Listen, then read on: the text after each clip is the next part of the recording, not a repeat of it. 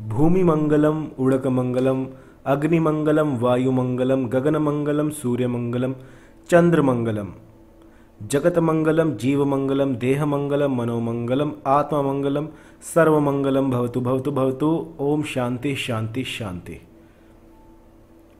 इस मंत्र का जाप करने से आपके जितने भी दोष हैं, जितने भी आपके ग्रह अशांत चल रहे हैं, जो आपको पीड़ा दे रहे हैं, वो सारे शांत हो जाएँगे। शनय शनय परिवर्तन तो होता ही रहता है। लेकिन कभी कभार जीवन ऐसे पल दिखा देता है कि भगवान पर से विश्वास उठना शुरू हो जाता है। तो जो पूजा पद्धति है, उसमें विश्वास पर ही सारा कुछ होता है। मानो तो गंगा, ना मानो तो पानी। विश्वास तो इतना अडिग होना चाहिए कि पत्थर में भी भगवान की मूर्त दिखनी शुरू हो जाए। लेश मात्र भी ऐसा संदेह ना रहे कि भगवान का अस्तित्व ही नहीं है। कई बार मेरे पास साध्वियाँ आती हैं और कहती हैं कि उनके पति जो हैं, उनसे उनका मनमुटाव रहता है और चिड़े चिड़े से रहते हैं।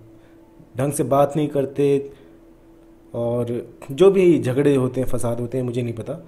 वो सारे मुझे सुना देते हैं। तो आज मैं उनके लिए ये मंत्र लेकर आया हूँ, जो कि बहुत ही सरल है और कोई भी कर सकता है इसको। बस आपको एक पीपल का पेड़ देखना है। पीपल के पेड़ के पास जाके आपको मौली से सात चक्कर लगाते हुए ये मंत्र बोलना है, सात बार। और फिर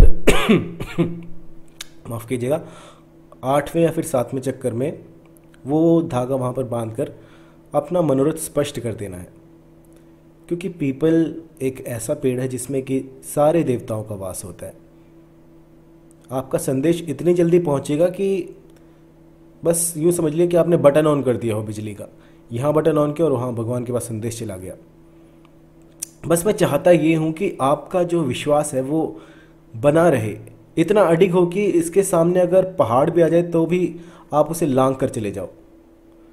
ये जितनी भी चीज़ें हैं, सारी विश्वास पर काम करती हैं।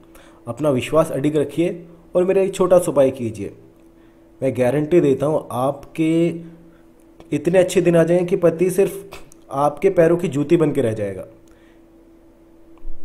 तो आप आ, किसी भी पीपल के पेड़ के पास जाइए अमावस्या की जो है घड़ी में। आज अमावस्या है तो ये प्रयोग हमने सुबह ही किया। बस आपको सात बार जो है चक्कर लगाते हुए मंत्र बोलते हुए वो बाँध देना है किसी पीपल के पेड़ में। और फिर अपना मनोरथ स्पष्ट कीजिए कि मेरे पति और मेरा परिवार सुखी रहे और हमारा जो दाम्पत्य जीवन है वो खुशी खुशी रहे। अगर कोई दिक्कत, परेशानी आए तो कॉल कीजिएगा triple nine two eight four सोलह पच्चीस और सब्सक्राइब के बटन पर क्लिक कीजिए ताकि मैं नए नए वीडियोज़ आपको देता रहूँ। Thank you for watching thank you